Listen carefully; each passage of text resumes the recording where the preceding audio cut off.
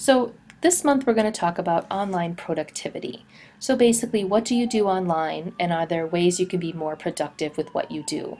Specifically with using things like RSS feeds. So if you don't know what RSS feeds are, then this video is for you. So first let's talk about how people spend their time online. So 2013 is going to be the first year that digital use is going to surpass television use. And what digital use means is that means the time you spend online, which could include computers, it could include desktops, it could include tablets, your mobile device. So all the different ways you spend your time online.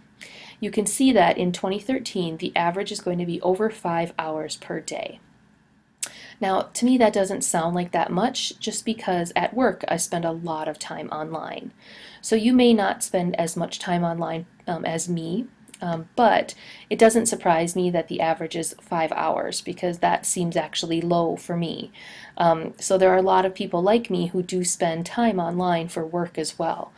So digital is going to surpass television. So this will be the first time that this has happened. Um, and you also need to think about too that a lot of people multitask. As you can see at the bottom of this chart, it says the time spent with each medium includes all time spent with that medium, regardless of multitasking. So one hour of multitasking online while watching TV counts for one hour of TV and one hour of online. So keep that in mind. I know it looks like a lot of time when you see five hours of digital and four hours of television, but a lot of those hours for some people are going to overlap.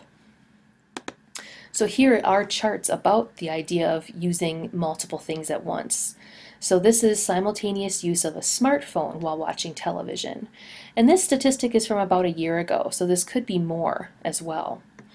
You'll see multiple countries here. The US is in blue.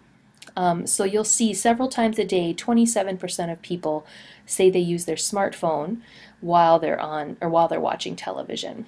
Um, and you can actually see um, several times a day, once a day, or several times a week constitutes more than 60% of people say they do this. So we are using multiple devices at the same time. So that's for smartphones. This is for tablets. And it's pretty much the same percentages, a little bit more with tablets actually. And again, this is a year ago, so it might be a little bit larger than this by now too.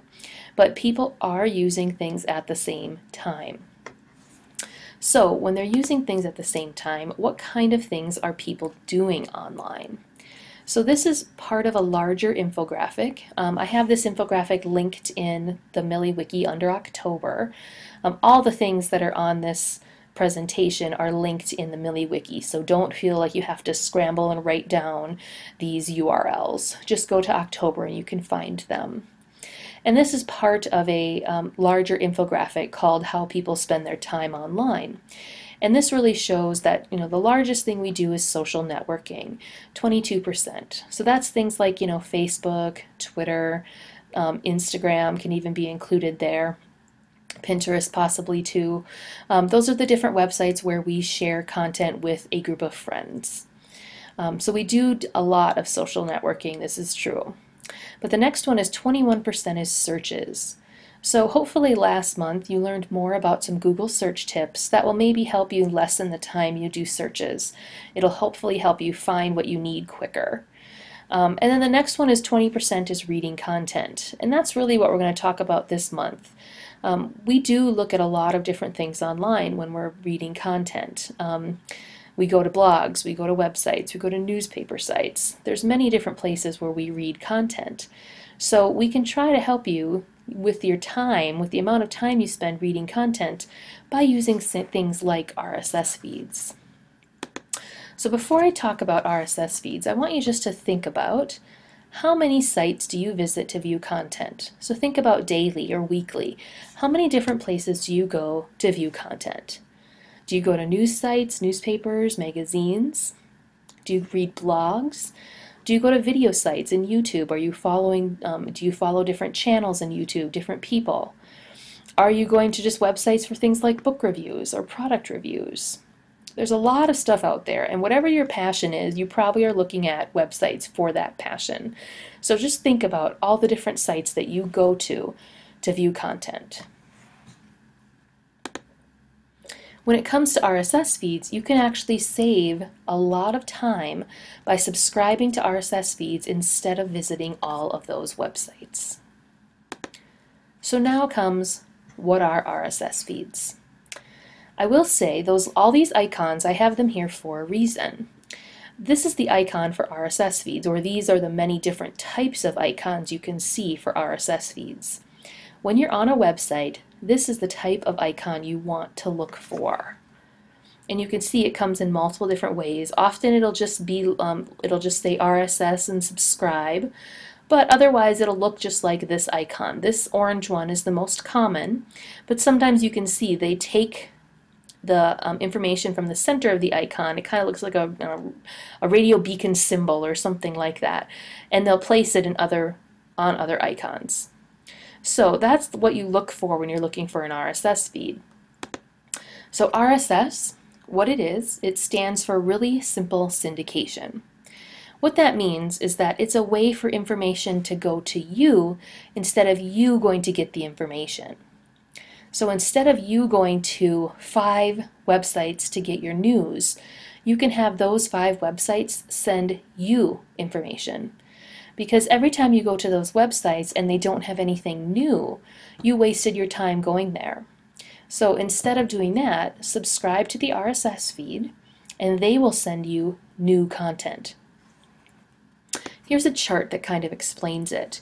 Um, this is linked in the wiki again, and I'm going to break apart this chart and show you the top and bottom. So the top of the chart, this talks about without RSS feeds. And this is the old way of doing things. This, this means that you have to go to all those different websites. So you can see there's three different websites this person visits.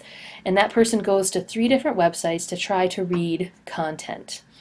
And every time he goes there to try to get the content from that site and there's nothing new, that's kind of a waste of time. So this is the old way. It has a, a, turtle there showing you that he has to go to three different sites to check to see if there's anything new. Now the bottom of that little graphic, this shows the faster way. It shows those three websites and all three of them have an RSS icon. What this person needs to do then is to subscribe to something called an RSS reader. A reader is something that can store all of your RSS feeds. So he subscribed to an RSS reader and then he subscribed to all of those, those three different websites. He subscribed to their RSS feeds. So now he doesn't have to go to those three websites. When they publish new content, it comes to his RSS reader. So he just has to open his RSS reader and not those three websites. So he's down to one website that he opens now to see if there's new content on three websites. This is what RSS feeds do. You go to the websites that you typically frequent, the ones that update content regularly, and you look and see if they have an RSS feed. You can then add that feed to your RSS reader, and that's how you can view new content. You don't have to go back to their website, but you just open up your reader. If you need more of an explanation on RSS feeds, there's a video I posted um, under October. I just posted a link to it called RSS in Plain English. And you might want to watch that video. It gives you a really nice to follow, easy to watch um, kind of definition of what RSS feeds are. So I suggest watching that, and you can see the video was made in 2007. So it's a little bit older, but it still explains RSS feeds in a nice way. And as you can see, RSS feeds have been around for a while, but not everyone utilizes them. So if you need an, a better definition, one that you can see more information about RSS feeds, I highly suggest you watch that video. So now I want to just tell you of different places where you can find RSS feeds.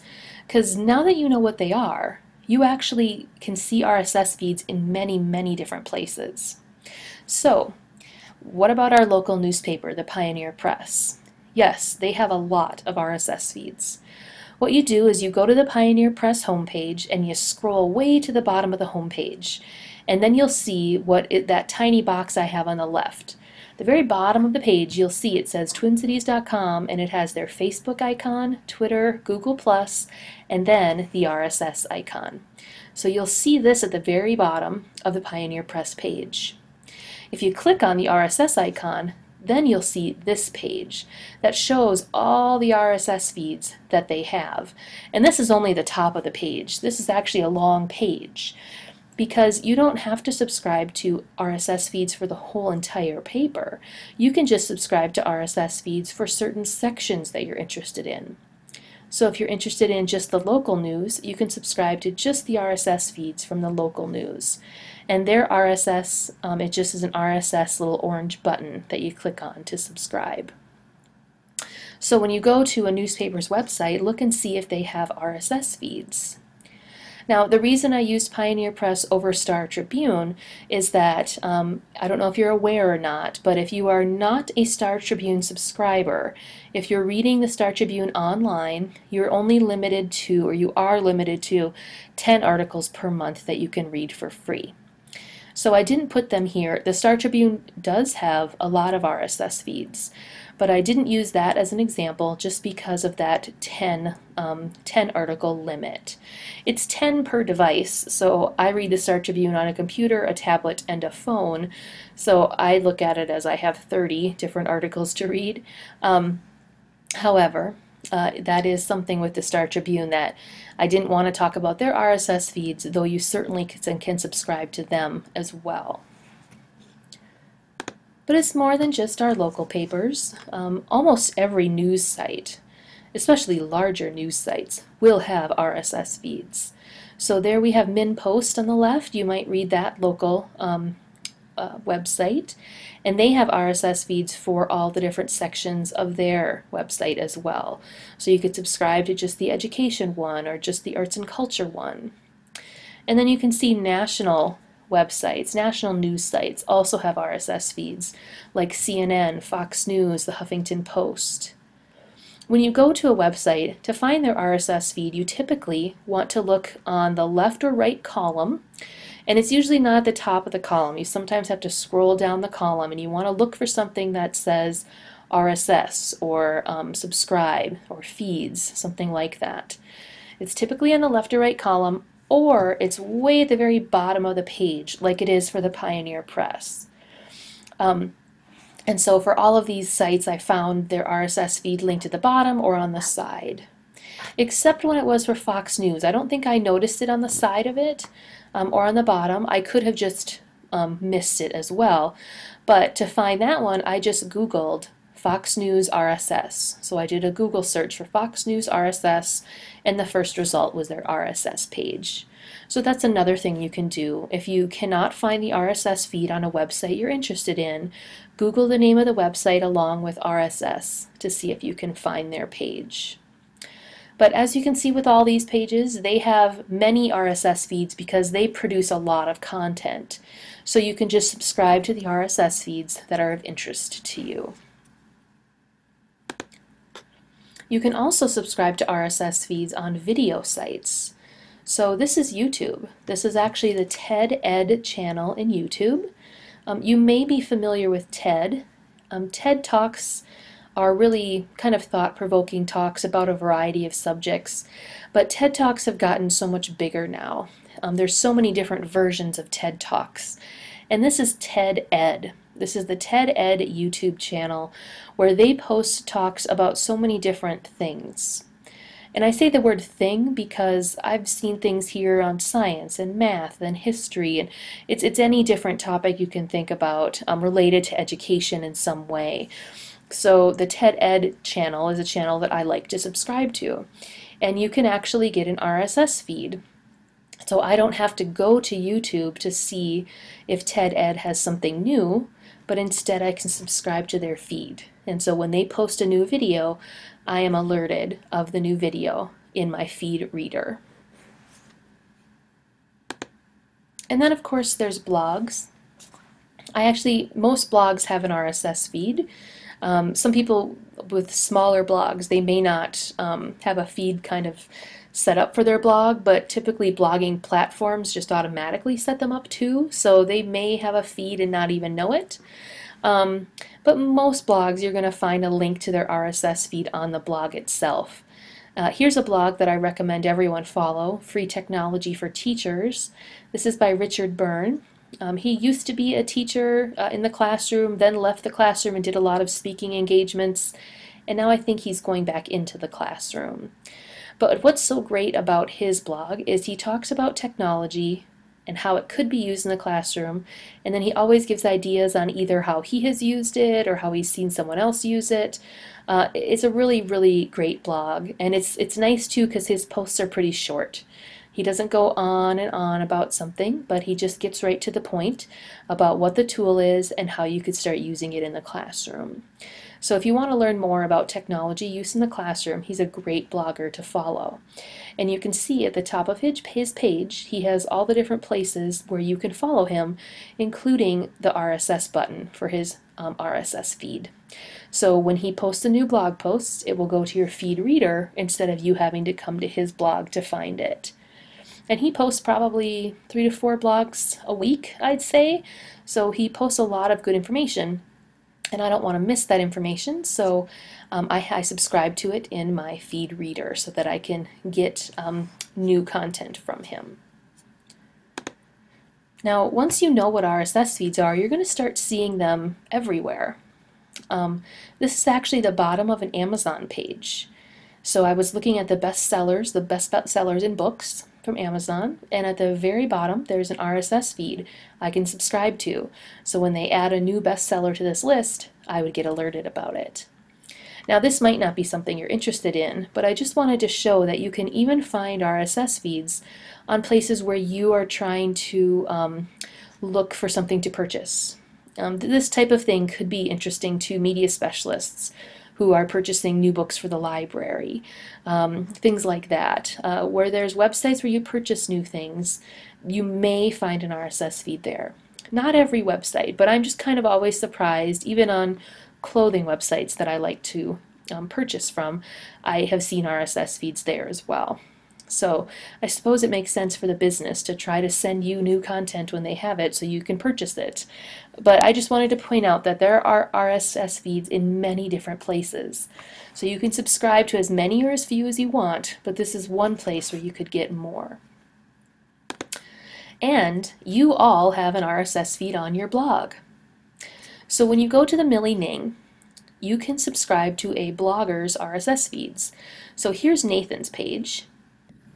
And if you're on a certain person's page and you want to see where their RSS feed is, you want to click on the link for their blog posts, which is always below their picture. So if you click on blog posts, you'll then see all the posts that Nathan has done, and you scroll way to the bottom of his posts, and that's where you can see his RSS feed. Now, to find someone in the Ning, what you want to do is you want to click on where it says members, and then you, there's a search bar and you can just search for someone's name. Then just click on their name when you find them, and that will bring the, you to their page like this. So then you click on their blog posts, you go to their blog, and you scroll down for their RSS button.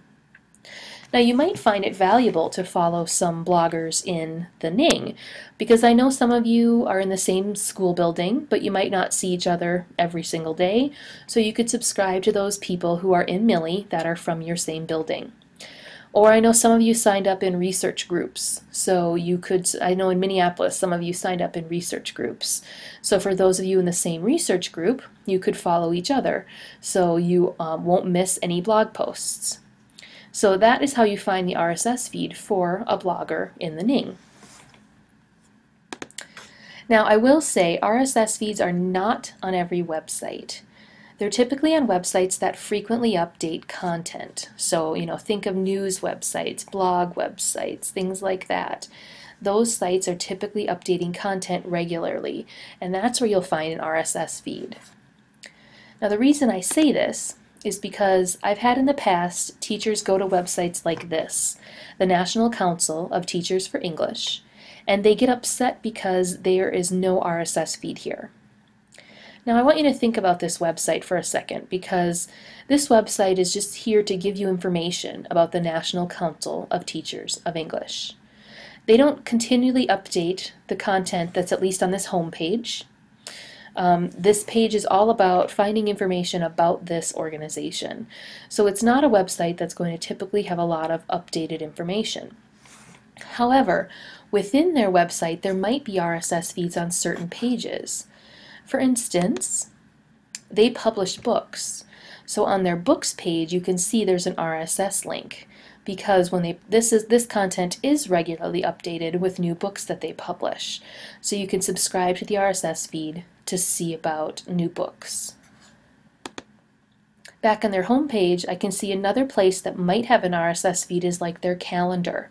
If you went to their calendar, there might be an RSS feed there because that is content that is frequently updated. Another thing that does have content that's frequently updated are things like their Facebook and Twitter and LinkedIn pages. And you can subscribe to someone's RSS feed in Twitter without even being a member of Twitter. So if you did not want to join Twitter, but you wanted to see what content they were putting out on Twitter, you can actually subscribe to their Twitter feed without even having an account in Twitter. So that's another way to get RSS feeds too. But I just wanted to put this out there because I want you, don't get upset when you find a website that has no RSS feeds, because I want you to think about the website you're looking at. Is it a website where you go to find new content all the time?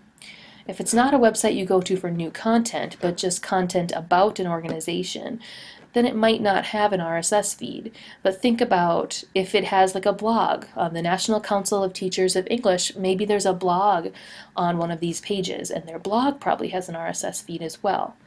So think about the website that you're looking at and what content they would update, and that's where you would look for an RSS feed. Now, when we meet, you're going to learn about Flipboard. Flipboard is going to be the tool that I will show you that can collect all of your RSS feeds. So you'll use Flipboard to subscribe to your RSS feeds so you can view the content. Now Flipboard is really cool in that it makes the content look like a magazine. So this is what Flipboard will look like. I have my Twitter account connected to Flipboard. So what this has done is it has taken tweets of people that I follow and it has put them in this magazine format. And what's so cool about, I think, using Twitter with Flipboard is that you can see it's not showing me the tweet that the person said, but it's showing me the article that they linked out to. So I think that's kind of great, is that it will follow people in my Twitter account, and when they link to a really good article, it doesn't say what they said about the article, but it pulls in the article and puts it in magazine format. Or here's what Free Technology for Teachers looks like in Flipboard. So that's the blog I recommended you follow earlier. And um, you can see it has his blog posts and it makes everything look like a nice magazine format. And with Flipboard, I will show you when we meet, you do just turn the pages like you would turn the pages of a magazine. So it really is your own personal magazine. And you can also subscribe to video channels. So here's that TED Ed YouTube channel, and I subscribed in Flipboard. So when they have a new video, the videos appear like this to me, and I can actually watch the video within Flipboard as well. So I don't ever have to leave Flipboard to watch the video either. So instead of me going to those different websites, I can now just open Flipboard and all the content from those websites can come to me. So I'll show you how to use Flipboard um, and I'll give you examples of a lot of different things you can follow. Um, but it's a really interesting tool because it is your own, they call themselves your personal magazine. So when we meet, um, I'll go over suggested blogs or websites you may want to follow. I'll show you how to use Flipboard to follow them. And then if you, um, before we meet, if you want to learn more about RSS feeds or Flipboard, check out all the other information under October in the MILI Wiki. And I also want you to think about when you come to, or before you come, think about websites that you frequent that update content. So come with some websites in mind that you might want to follow as well.